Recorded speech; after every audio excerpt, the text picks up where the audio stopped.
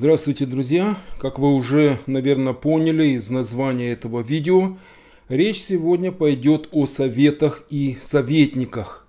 В русском языке существует по этой тематике много однокоренных слов – совет, советник, совещание, советоваться.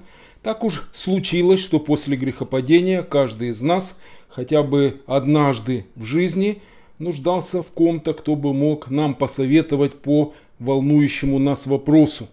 Наверное, у вас в жизни тоже были такие случаи, когда вы чувствовали свою нужду в чьем-то совете. Мы не знали, как нам поступить, и находился кто-то, кто давал нам мудрый совет, как будет правильно поступить в той или иной ситуации. Но, к сожалению, в жизни встречаются и противоположные случаи. Кто-то дает нам такой совет, что после этого совета – мы попадаем в такие проблемы, что мы потом сидим и думаем, зачем же я послушал этого человека с его советами. Если у вас были в жизни такие случаи, вы можете их описать в комментарии под этим видео.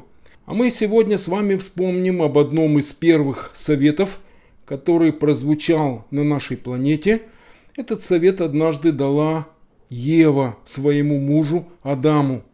Библия не описывает подробности, как Ева давала этот совет Адаму, но из последующего разговора между Богом и Адамом мы можем сделать вывод, что Ева тогда посоветовала своему мужу. Вот что Бог тогда сказал Адаму. Адам уже сказал, за то, что ты послушал голоса жены твоей и ел от дерева, о котором я заповедовал тебе, сказав, не ешь от него, проклята земля за тебя. Со скорбью будешь питаться от нее во все дни жизни твоей. Тернии и волсы произрастит она тебе, и будешь питаться полевою травою.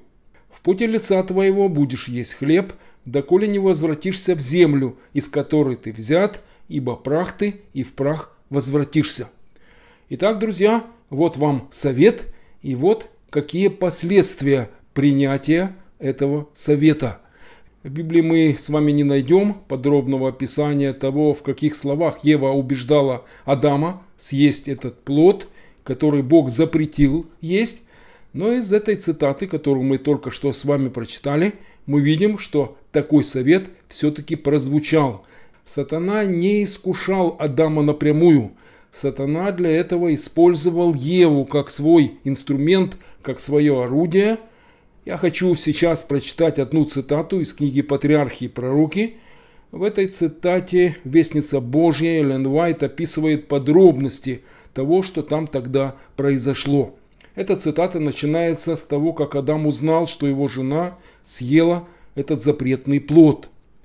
Лицо Адама омрачилось, он, казалось, был поражен и встревожен. Отвечая Еве, он сказал, что это должно быть тот самый враг, о котором их предупреждали, и что теперь, согласно божественному приговору, она должна умереть. Вместо ответа она настойчиво предлагала ему принесенные плоды, повторяя при этом слова змея, что смерть им не грозит. И, наконец, рассказав о своих ощущениях, она уверяла его, что не испытала никаких проявлений Божьего недовольства, а напротив – ощутила в высшей степени приятную бодрость, охватившую все ее существо. Подобные чувства, как она предполагала, испытывают и небесные вестники. Конец цитаты. Друзья, вы обратили внимание на эти слова? Ева настойчиво предлагала Адаму принесенные плоды, повторяя при этом слова змея, что смерть им не грозит – вы видите, друзья, Ева не просто принесла эти плоды, но как она их предлагала Адаму? Сказала ли Ева с безразличием, «Адам, если хочешь, можешь попробовать эти плоды». Нет, Ева настойчиво предлагала Адаму съесть эти плоды. Она уверяла Адама, что смерть им не угрожает. Мало того, как мы только что с вами прочитали, Ева к тому же рассказала Адаму о своих ощущениях. Она уверяла Адама, что не испытала никаких проявлений Божьего недовольства. То есть Ева сказала примерно следующее Адаму. «Я съела те плоды, которые Бог запретил нам есть, и, как видишь, ничего из того, что Бог нам сказал, не произошло. я не умерла, я жива. Друзья, я не случайно сейчас во всех подробностях остановился на этом моменте. Я это сделал для того, чтобы нам с вами стал понятен тот совет, который Адам получил от своей жены. Желала ли Ева зла Адаму? Конечно же нет. Она его любила. Планировала ли Ева принести вред своему мужу? И опять ответ нет. Она все это делала из самых добрых побуждений. Но в чем была проблема? Проблема состояла в том, что ответ, который дала Ева Адаму, полностью противоречил Слову Божьему и воле Божьей. Ева дала своему супругу такой совет, который привел к страшным последствиям не только для этой первой супружеской пары, но и для всего человечества, включая и нас с вами. Один маленький совет, один маленький и, как многие могут подумать, незначительный поступок и такие катастрофические последствия. Бог тогда сказал Адаму, «За то, что ты послушал голоса жены твоей и ел от дерева, которым я заповедовал тебе, сказав, не ешь от него, проклята земля за тебя». Итак, за что же была проклята планета Земля? За то, что Адам вместо совета Божьего принял совет своей жены, который полностью противоречил совету Божьему.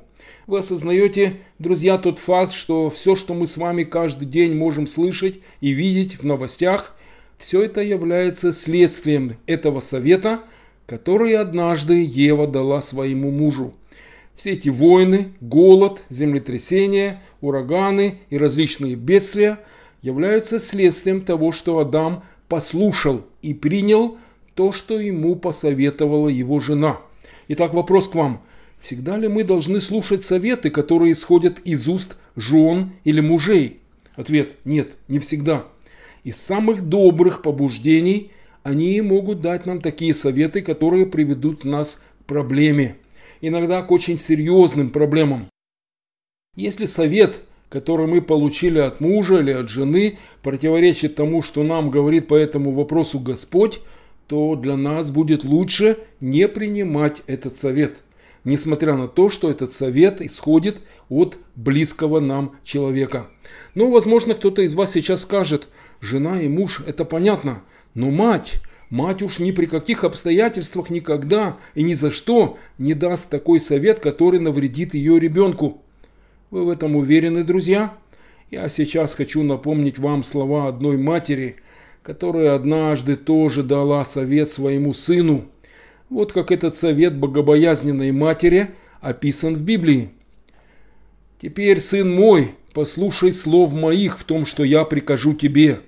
Пойди в стадо и возьми мне оттуда два козленка хороших, и я приготовлю из них отцу твоему кушанье, какое он любит. А ты принесешь отцу твоему, и он поест, чтобы благословить тебя перед смертью своею. Яков сказал Ревеке, матери своей, «Исав, брат мой, человек косматый, а я человек гладкий. Может статься, ощупает меня отец мой, и я буду в глазах его обманщиком, и наведу на себя проклятие, а не благословение». Мать его сказала ему, «На мне пусть будет проклятие твое, сын мой, только послушайся слов моих и пойди, принеси мне». Конец цитаты. Вы, конечно же, помните эту историю. Ревека настоятельно советует своему сыну Иакову. Обратите внимание на слова и обороты речи, которые применила Ревека в этой беседе. В восьмом стихе записаны слова Ревеки. «Теперь, сын мой, послушайся слов моих в том, что я прикажу тебе». Яков согласился не сразу. Вы заметили это? Яков возражал своей матери. Он понял, что ему сейчас придется обмануть своего отца. Яков сопротивлялся этому совету своей матери. Но Ревека настойчиво и внушительно говорит своему сыну, «Теперь, сын мой, послушайся слов моих в том, что я прикажу тебе». Яков отвечал ей и сказал, «Я это перескажу сейчас своими словами». Яков ей сказал, «Мама, а что, если отец меня ощупает и раскроется наш с тобой обман?» И в ответ Ревека опять повторяет ему те же самые слова. «На мне пусть будет проклятие твое, сын мой, только послушайся слов моих и пойди, принеси мне». Только послушайся слов моих. Мой совет очень хороший. Это единственный верный способ нам с тобой, сынок, получить то, что мы с тобой так хотим получить. Что вы на это скажете, друзья? Хороший ли совет верующая и богобоязненная мать дала своему сыну? Вы очень сильно ошибаетесь, если думаете, что это был хороший совет. Результаты этого совета Ревеки были очень и очень печальными, как для самой Ревеки, так и для Иакова. В результате этого совета возникла целая цепочка обстоятельств, так что мать и сын больше никогда не встретились. Горькие последствия этого совета были и для Иакова, и для Ревеки. Прошло совсем немного времени, и Иаков становится одиноким беглецом. Он убегает из дома своего отца. Иаков обманул своего отца, и он сам тоже был впоследствии обманут своим тестем Лаваном. Сначала Яков 7 лет служил у Лавана за Рахиль, и вместо Рахиль, которую он любил в жены, он получил Лею, которую он не любил. Один маленький совет любящей матери привел к целой цепочке обстоятельств, которые принесли Иакову много горя. И опять я хочу задать тот же вопрос, который я задал в первом случае, когда Ева дала совет своему мужу. Всегда ли мы можем принимать советы от наших матерей или от наших отцов, от наших близких, даже если нам известно, что наши родители являются богобоязненными людьми, всегда ли и все ли их советы мы можем принимать?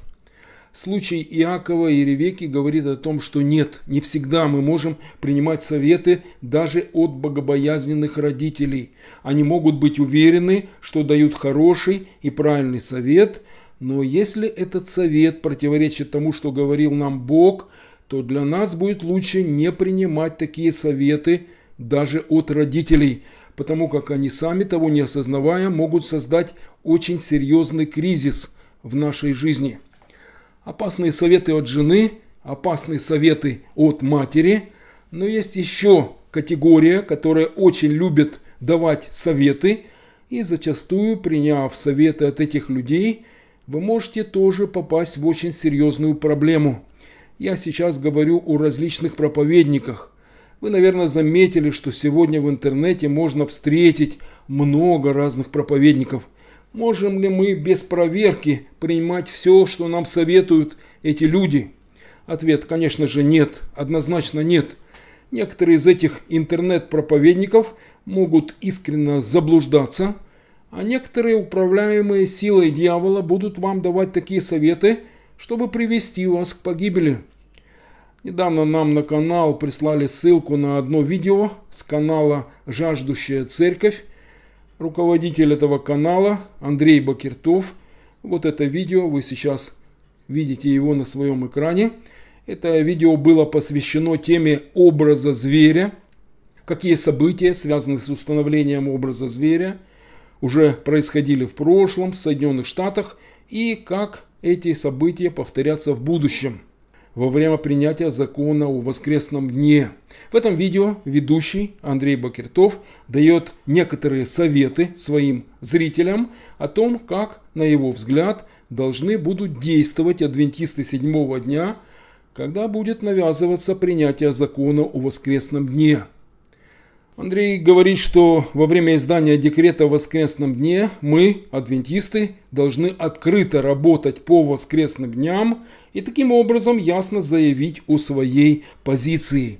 Я хочу сейчас показать вам несколько цитат из этого видео, и после просмотра этих цитат мы с вами постараемся ответить на один вопрос – Советы, которые дает в этом видео своим зрителям ведущий Андрей Бакертов, эти советы от Бога или эти советы противоречат тому, что говорит нам Бог. Давайте сейчас послушаем короткую цитату. И не бойтесь убивающих тел. Перестаньте идти на компромисс. Станьте в оппозицию. Станьте ярким э, прецедентом в этом мире. Не бойтесь убивающих тело, души же не могущих убить, а бойтесь более того, кто может и душу, и тело погубить в гиене.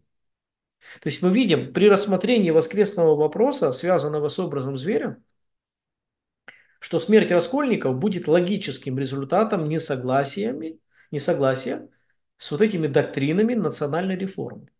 Когда эта доктрина уже в наше время с вами, уже сегодня, завтра, получит какое-то законное основание. Итак, друзья, как вы только что смогли услышать, Андрей Бакертов дает совет своим слушателям встать в оппозицию к тем, кто будет участвовать в издании этого закона о воскресном дне и не идти на какой-либо компромисс. Сейчас я хочу, чтобы вы посмотрели еще одну цитату для того, чтобы вам стала предельно ясна позиция Андрея Бакертова по этому вопросу. Ни один человек, любящий истину, послание третьего ангела, он, конечно же, никогда не подчинится никакому закону, запрещающему работать в воскресенье. Даже если за работу в этот день ему грозит смерть. Если закон запрещает ему работать, он, подобно Даниилу, которому закон запрещал молиться Богу, поступит так, как поступал всегда, по обычаю, по привычке, и будет поступать так, как будто этого закона никогда и не существовало. Конечно, и такому человеку придется столкнуться со штрафом и тюремным заключением. И придет время, когда за это ему придется пойти на смерть. И об этом ясно говорится в послании третьего ангела. Но согласитесь, гораздо лучше подвергнуться штрафу, тюремному заключению и даже самой смерти, чем поклоняться зверю и его образу. Итак, какую мысль пытается донести Андрей и какие советы он дает своим зрителям? Я перескажу его идеи своими словами. Он говорит, когда выйдет декрет о воскресном дне, все верные Богу люди должны выступить вперед и открыто работать в воскресный день, так, чтобы все увидели, какова наша позиция по этому вопросу. Что вы на это скажете, друзья? Как вы считаете? Я сейчас обращаюсь к тем из адвентистов седьмого дня, которые знакомы с трудами духа пророчества. Как вы считаете, друзья, соответствует ли совет Андрея Бакертова тем советам, которые Бог дал нам через труды Вестницы Божьей? И для того, чтобы вам было легче отвечать на этот вопрос, давайте сейчас прочтем некоторые цитаты из того, что по этому вопросу однажды написала Элен Уайт. Кстати, в этом видео Андрей Бекертов не привел ни одной цитаты из книг Духа Пророчества. Одно это уже наводит на определенные выводы. Андрей несколько раз вспоминал имена вестников, Вагонера и Джонса. Он говорил, что никто так не понимал этот вопрос, как понимали вестники. Но при этом Андрей совершенно не упомянул мнение Элен Уайт по этому вопросу так как будто ее высказываний совсем не существует. Ни одного высказывания из трудов духа пророчества приведено в этой программе Андреем не было. И очень зря. Сейчас, после того, как мы с вами прочтем несколько цитат из Духа Пророчества, вы поймете, почему. Вот что пишет Элен Уайт в книге «Избранные вести», том 3. «Нам никак нельзя раздражать окружающих нас людей, боготворящих воскресный день, стараясь работать у них на виду в этот день, дабы продемонстрировать свою независимость.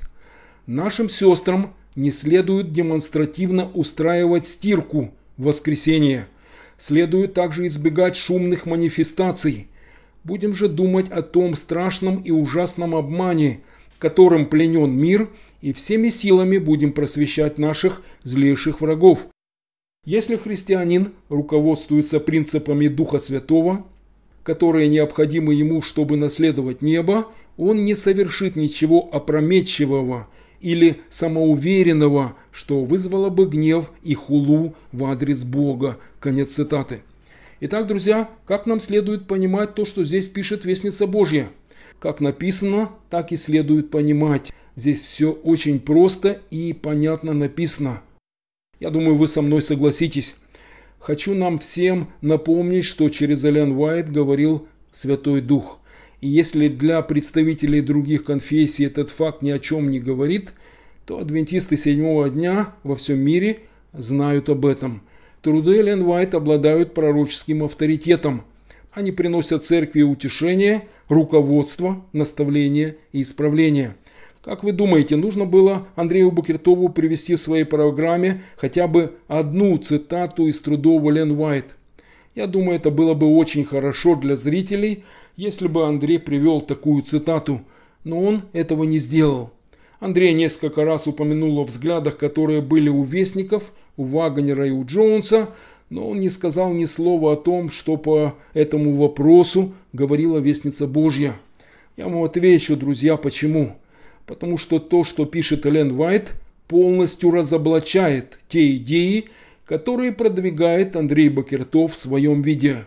Андрей Бакертов говорит, что во время издания воскресного закона мы должны открыто перед всеми работать.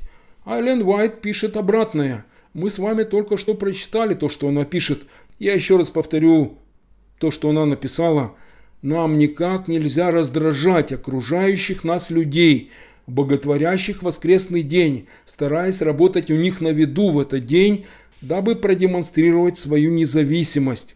Нашим сестрам не следует демонстративно устраивать стирку в воскресенье. Я не буду дальше читать эту цитату, мы только что ее с вами прочитали. Итак, Лен Уайт пишет, что в воскресный день не следует демонстративно работать на виду у тех людей, которые соблюдают воскресный день. А что Дух Святой советует делать вместо этого в такой ситуации?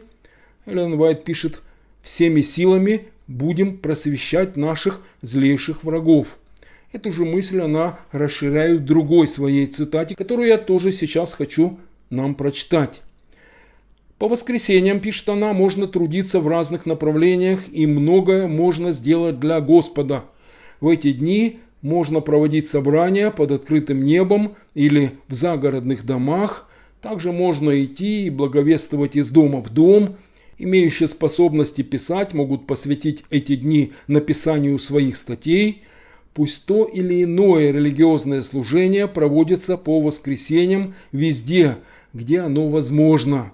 Сделайте эти встречи максимально интересными, пойте, призывающие к возрождению духовной жизни песнопения, уверенно и силой говорите о любви Спасителя, говорите о воздержании, о подлинном религиозном опыте. Таким образом, вы научитесь трудиться и достигать Евангелием души многих людей. Конец цитаты. Итак, друзья, с одной стороны, совет Андрея Бакертова. Он советует открыто заявить о своей позиции и открыто перед всеми работать по воскресным дням. И с другой стороны, мы с вами только что прочитали две цитаты Вестницы Божьей. В этих цитатах Дух Святой призывает нас не работать демонстративно перед теми людьми, которые соблюдают воскресенье, вызывая злость у своих противников – но благоразумно и с мудростью использовать воскресный день для проповеди отличительных истин для настоящего времени. Я надеюсь, друзья, что вы уже поняли, что в этих двух подходах существует значительная разница. А теперь я хотел бы ответить на следующий вопрос, который может у вас возникнуть. Почему Андрей Бакертов дает совет, который противоречит советам Святого Духа? Я отвечу вам на этот вопрос, друзья. Андрей почему-то решил, что заповедь о субботе, которую Бог нам дал, повелевает не только соблюдать субботний день, но и обязательно работать в оставшиеся шесть дней. По мнению Андрея, если мы не работаем в какой-то из этих шести дней, то мы также нарушаем заповедь, в которой говорится, я кратко вам сейчас напомню, о чем Бог говорит в этой четвертой заповеди, там написано – Помни день субботний, чтобы светить его. Шесть дней работай и делай всякие дела твои, а день седьмой – суббота Господу Богу твоему. Так вот, Андрей почему-то решил, что нарушение этой заповеди является не только, когда мы работаем в субботний день, но и когда мы не работаем в оставшиеся шесть дней. Давайте сейчас послушаем, что он об этом говорит в своем видео. Они сами признают как заповедь Божью. Она говорит, четвертая заповедь не только повелевает отдыхать в один день, но и трудиться в остальные шесть. То есть эти люди отдыхают в один день, а затем в дополнение к этому женское движение предлагает заставить людей отдыхать в один из шести других дней, которые заповедь Божья повелевает им и нам трудиться. Таким образом, они сознательно предлагают заставить целый народ нарушать заповедь Божию. То есть они не лишат вас соблюдения субботы, а им просто заставят вас не работать в один день, и вы будете нарушителем четвертой заповеди. Ох, как хитро, как ловко, как с разных сторон. Если этого не понимать, я просто представляю себе, что будет, когда мы, как адвентистский народ, с этими нашими, не этими знаниями, классическими, вот этими зашоренными идеями, войдем в воскресный закон, мы просто как, как, как извините меня, ну как цыплята, мы не будем понимать вообще сути происходящего. Итак, друзья, как вы сейчас могли услышать, отдых в один из шести дней, по мнению Андрея Бакертова, тоже считается нарушением четвертой заповеди – Друзья, скажу сразу, это ошибочное мнение Андрея Бакертова, которое не имеет никакого отношения к истине и которое является опасным заблуждением. Я вам сейчас объясню, почему я так считаю. Давайте сейчас рассмотрим простой пример из жизни, из нашей жизни. Например, вы тяжело работали в течение целого года, например, на заводе вы работали, и вам полагается отпуск, скажем, в течение двух недель, вы с семьей едете на море, или вы едете в горы, или вы едете в лес для того, чтобы провести эти две недели со своей семьей и насладиться красотами природы. А теперь вопрос к вам, друзья. Нарушите ли вы заповедь Божью, если вы будете просто отдыхать во время своего отпуска? Подумайте над ответом. Еще один подобный пример из жизни. Парень и девушка расписались, они сыграли свадьбу – и они едут провести вместе медовый месяц. Скажите, друзья, разве они во время своего медового месяца должны работать, дабы не было нарушена четвертая заповедь? Или лучше сказать, дабы не было нарушено представление Андрея Бакертова о том, как нужно правильно соблюдать четвертую заповедь? Это абсурд, скажете вы, и будете правы. Бог никогда ни от кого не требовал работать без перерыва никакой заповеди вы в таком случае не нарушите. Мне хотелось бы задать этот вопрос самому Андрею Букертову. Скажите, Андрей, когда вы едете с семьей на отдых, например, к морю, вы там у моря тоже продолжаете работать все шесть дней? Я не думаю, Андрей, что вы работаете на отдыхе. Скажите, а что в таком случае означает слово «отдых»? Кстати, вам, наверное, будет интересно то, что рекомендовала Элен Уайт работникам адвентистской канцелярии – вот что она им однажды написала. Братьям в канцелярии кажется, что они не могут оставить работу даже на несколько дней ради короткого отдыха, но это ошибка. Они могут и должны это сделать. Даже если они не сделали бы так много, все равно лучше отдохнуть несколько дней, чем слечь в постель и быть потерянными для дела на долгие месяцы, а возможно и вовсе лишиться трудоспособности. Конец цитаты. Как вы ответите на вопрос, рекомендовала ли Элен Вайт своим сотрудникам отдых, или она им говорила и писала, что мы все должны напряженно работать в течение шести рабочих дней и в течение всего года. Мы только что с вами прочитали ее слова. Братьям в канцелярии кажется, что они не могут оставить работу даже на несколько дней ради короткого отдыха. Но это ошибка. Обратите внимание, она пишет «отдых на несколько дней». Ясно, что имеются в виду рабочие дни, в которые, по мнению Андрея, мы все и всегда должны работать. Приведу еще один пример. Наверное, среди наших слушателей найдутся люди, которые работают по сменам. Два дня работают, один день отдыхают. Или три дня работают и один день отдыхают. И опять тот же вопрос к вам, друзья – Согрешат ли эти люди, если их день отдыха выпадет на среду, или на вторник, или на любой из шести рабочих дней, и они будут отдыхать в этот день? Ответ – нет, ни в коем случае. Они не согрешат, если будут отдыхать в среду или в четверг. Вы понимаете, друзья? Нарушением четвертой заповеди является работа в субботний день, но отдых в какой-либо из шести рабочих дней не является нарушением этой заповеди. То есть эти идеи Андрея не выдерживают никакой критики. Еще один вопрос я хотел бы сейчас задать всем нам. Что будет с вами, если вы примете эти советы Андрея Бакиртова?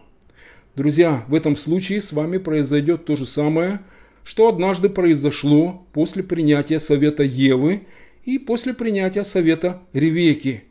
мы с вами в таком случае попадаем в проблему, в очень серьезную проблему. И виноваты в этом будем мы сами. Давайте сейчас прочтем еще один совет, который нам оставил Святой Дух по этому вопросу через свою вестницу. Элен Уайт написала однажды письмо одному брату, в котором она ответила именно на эти вопросы, которые мы сейчас разбираем. Санаторий Калифорния, так начинается эта цитата. Это письмо датировано 17 августа 1902 годом. Элен Уайт здесь пишет, «Дорогой брат, я попытаюсь ответить на твой вопрос относительно того, что тебе необходимо делать в случае принятия закона об обязательном соблюдении воскресного дня. Согласно тому свету, который был получен мной от Господа, когда мы ожидали наступления кризисного времени, похожего на то, что приближаются к тебе, и когда люди, движимые силами преисподней, пытались сделать обязательным соблюдение воскресного дня – адвентисты седьмого дня должны были проявить мудрость и воздержаться в этот день от обыденного труда, посвятив время миссионерской деятельности. Открытое неповиновение закону о соблюдении воскресного дня приведет только к усилению преследований со стороны тех религиозных фанатиков, которые пытаются силой навязать его исполнение – не давайте им возможности называть вас нарушителями закона. Если они продолжат господствовать над теми, кто не боится ни Бога, ни человека, то их нововведение вскоре потеряет свою новизну, и они увидят, что решение это и непоследовательно с их стороны, и неудобно, чтобы столь жестко требовать соблюдения воскресного дня. Продолжайте свою миссионерскую деятельность с Библиями в руках, и Брах увидит, что он сам усугубил свое положение. Поступая таким образом, человек не примет, обратите внимание, друзья, поступая таким образом, человек не примет начертания зверя, потому что достойным поведением он покажет, насколько разумно сохранять мир, воздерживаясь от выполнения работы, задевающей чувства людей – и в то же самое время выполняя работу величайшей важности. Если мы будем посвящать воскресное время миссионерской деятельности, Бог заберет кнут из рук деспотичных фанатиков, а ведь этим людям доставило бы большое удовольствие унизить адвентистов седьмого дня, когда они увидят, что мы проводим воскресное время, посещая людей и открываем истины священного писания, то поймут, насколько бесполезно – пытаться воспрепятствовать нашей работе путем издания обязательных законов о соблюдении воскресного дня. Конец цитаты. Друзья, я думаю, здесь достаточно ясно все написано. Я хочу обратить ваше внимание на следующие слова в этой цитате. Элен Уайт пишет, «Открытое неповиновение закону о соблюдении воскресного дня приведет только к усилению преследований со стороны тех религиозных фанатиков, которые пытаются силой навязать его исполнение. Итак, что произойдет с вами, если вы примете совет Андрея Бакиртова и отвергнете совет Святого Духа, данного через его вестницу? С вами, друзья, произойдет именно то, что здесь написано. Вы навлечете на себя преследование со стороны тех религиозных фанатиков, которые пытаются силой навязать исполнение закона о воскресном дне. Теперь вам понятно, куда ведет своих слушателей Андрей, давая такие необдуманные советы. Он ведет вас к проблеме, к очень большой проблеме. Фанатизм всегда во все времена приводит к кризису и к серьезным проблемам. Теперь вам, наверное, стало ясно, почему я сегодня решил объяснить эти вопросы. Рано или поздно мы с вами столкнемся с этими проблемами, друзья – рано или поздно. Как только вышла эта программа Андрея Бакиртова, канал «Слуги ничего не стоящие», долго не думая, выставил у себя эту программу. Большинство из зрителей, как всегда, так ничего и не поняли. Они чисто автоматически посмотрели это видео и также автоматически поставили свой лайк. И не вдаваясь в суть сказанного Андреем Бакиртовым, в комментариях написали свое дежурное «Аминь». Благодарим за истину, они написали. Задумайтесь, друзья, за какую истину вы благодарите. Некоторые поблагодарили Андрея Бакертова за такие глубокие познания, которые он им открыл. Слова «глубокие познания» по понятным уже для вас причинам я возьму в кавычки. Одна женщина в своем комментарии задала вопрос, который я хочу сейчас прочитать вместе с ответом, который дал ей Анатолий с канала «Слуги ничего не стоящие». Вот что она написала – но ведь Элен Уайт пишет ясно по этому поводу, что мы должны будем тогда не идти на рожон, а по воскресеньям трудиться для Бога на его ниве. Как же с этим? пишет она. А теперь давайте прочтем, что ей на этот вопрос ответил Анатолий. Анатолий пишет, а в чем вы увидели противоречие? Одно другое не исключает. Исходя из этого ответа Анатолия, можно сделать только один вывод – Анатолий вообще не понял, о чем идет речь в видео Андрея Бакиртова. Он так и не понимает разницу в этих двух взглядах и подходах, и в этих двух советах, которые с одной стороны дает Андрей Бакиртов, а с другой стороны Вестница Божия Ален Вайт. Анатолий автоматически выставил видео Андрея Бакиртова, но смысл видео Анатолий, к сожалению, так и не понял. В принципе, это было ожидаемо. Думаю, для нас уже пришло время завершить эту программу. Подводя итог тому, о чем мы сегодня с вами говорили, я хочу вас призвать. Друзья, будьте очень осторожны и очень внимательны к тем советам, которые вы сегодня слышите, которые сыпятся на вас с разных сторон. Пусть Господь даст нам духовное зрение, чтобы мы с вами могли видеть все обманы которые сатана старается ввести в среду народа Божьего в эти дни. Аминь.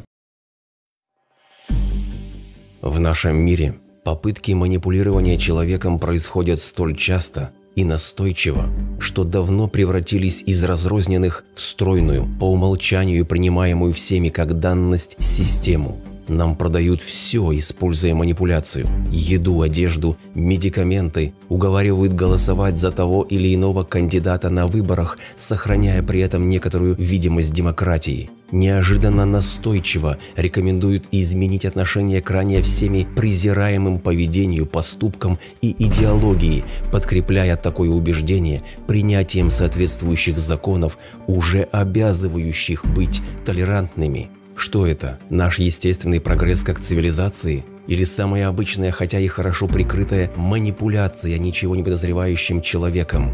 Живя во времена практически повсеместного доступа к информации, мы не только можем, но и должны ответить на эти вопросы и перестать быть просто толпой. Однако есть особенно чувствительная сфера нашей жизни, где манипуляция крайне болезненна и даже смертельна – это религия. Миллионы людей по всей земле горячо убеждены, что все делают правильно, и их душа может быть спокойна.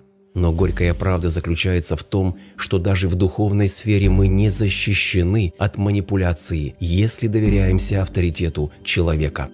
Книга «Национальный воскресный закон», предлагаемая вам сегодня, как раз об этом. Она может удивить и даже шокировать но то обилие фактов, которые собраны в ней, должны пробудить интерес всякого искреннего читателя. Автор буквально ведет нас за кулисы, туда, куда обычно вход строго воспрещен и где открывается неприглядная реальность.